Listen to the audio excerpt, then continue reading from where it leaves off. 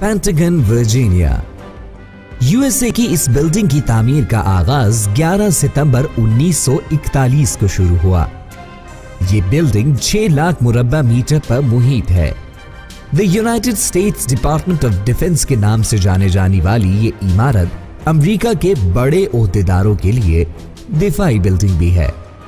इस इमारत को प्योर स्टील की दीवारों से तामीर किया गया है और एक मखसूस मटेरियल इन दीवारों के दरमियान फिल किया गया है, जो कि एटमी रेडिएशन को अंदर आने से रोकता है। इसमें जाने के लिए 60 मिनट के तवील सिक्योरिटी चेक से गुजरना पड़ता है, जिनमें मुख्तलिफ़ किस्म की मशीन से मुआयना भी किया जाता है। इसके अलावा पेंटागन की अंडरग्राउंड इमारत तक चंद अफराद की ही रसाई मुमकिन है। अंडरग्राउंड ये कितना गहरा है, कुछ नहीं कहा जा सकता। हाँ जंग की सूरत में इसको सेफ्टी मकासद के लिए इस्तेमाल किया जाएगा। और कौन कौन इसमें रह सकता है? नाजरीन, आप ज़रूर जान गए होंगे। Raven Rock Mountain Complex Pennsylvania अमरीकी रियासत पेंसिल्वेनिया में एक खुफिया बंकर बनाया गया है, जिसको जंगी सूरत हाल के वक्त इस्तेमाल किया जाएगा, जो कि एक पहाड़ के नीचे कई किलोमीटर की गहराई में बनाया गया है।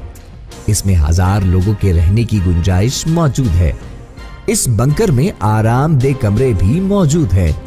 इसके अलावा, इस बंकर के लिए हैवी बरकी जनरेटर भी लगाए गए हैं, जिससे बवक्त ज़रूरत हज़ारों मेगावाट बिजली फराहम की जा सकती है।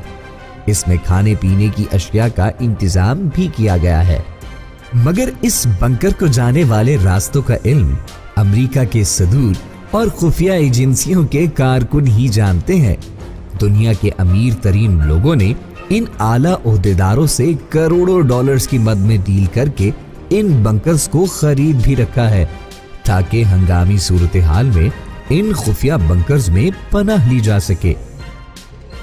प्रोजेक्ट ग्रीक आइलैंड, वर्जीनिया में ही एक खूबसूरत रिजॉर्ट के नीचे वाकई इस बंकर को शायद ही दुनिया जानती हो, जिसका एक सिरा दूर किसी जंगल में खुलता है। कहा जाता है कि यह बंकर 1950 में बनाया गया और दौरे जदीद के साथ साथ इसकी हैयत में भी तब्दीलियाँ की गई और इसे हर लिहाज से महफूज बनाने के इकदाम किए गए। इसकी दीवारें तीन फुट मोटी कंक्रीट से बनाई गई हैं, जो कि किसी भी हमले को बर्दाश्त करने के काबिल है। 500 अफराद को अपने अंदर समूने की सलाहियत रखने वाला ये बंकर बहुत महफूज तस्वुर किया जाता है। 30 सालों से ये बंकर आवाम की नज़रों से ओझल रखा गया। मगर बाद अजा एक न्यूज़पेपर ने इसका भांडा फोड़ दिया।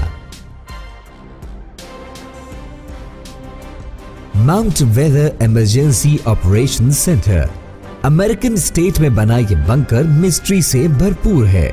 ब्लू ब्रिज माउंटेन्स के नीचे बना ये बंकर एग्जैक्टली किस जगह मौजूद है कोई नहीं जानता। इसके दाखिली और खारजी रास्तों को इस तरह से बनाया गया है कि कोई असल रास्ते को पहचान नहीं सकता सिवाय चंद एक लोगों के। इसके अंदरूनी रास्तों पर इंतहाई कड़ी सिक्योरिटी लगाई गई है। यहाँ पर एक कोल्ड स्टोरेज भी है, जिसमें दुनियाए आलम की हज़ारों खोरदोनोश चीज़ें पड़ी हैं, ताकि टाइम आने पर इनको इस्तेमाल में लाया जा सके। White House Washington DC White House से कोई नावाकिफ हो, ये हो नहीं सकता।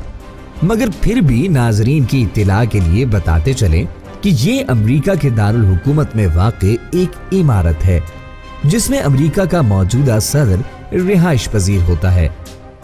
कहा जाता है कि इस इमारत के नॉर्थ विंग की निचली साइड पर एक रास्ता खुफिया बंकर को जाता है जो कि आज तक का सबसे ज़्यादा सेफ़ बंकर भी तस्वुर किया जाता है। इंटेलिजेंस और अहम अरकान के अलावा कोई इस खुफिया बंकर्स को नहीं जानता। कहा जाता है कि सदर बुश ने एक दफ़ा मीटिंग रखी थी, जो इस बंकर के एक कमरे में हुई थी। मगर उसके बाद इंटेलिजेंस ने किसी खतरे के पेश नज़र इस बंकर को कुछ लोगों तक महदूद कर दिया। इसमें दुनिया की हर आसाइश मौजूद है। खाने पीने के सामान के अलावा स्विमिंग पूल और जिम भी मौजूद है। इस बंकर को मॉडर्न तरीके से उस्तवार किया गया है, जिसमें तीन हज़ार अफराद के रहने की स्पेस मौजूद है। नाजरीन, ये थे खुफिया बंकर, जिनमें अमीर कबीर अफराद किसी भी हंगामी सूरत हाल के पेश नज़र पनाह लेंगे। मगर याद रखिए, सिर्फ़ और सिर्फ़ अमीर कबीर अफराद।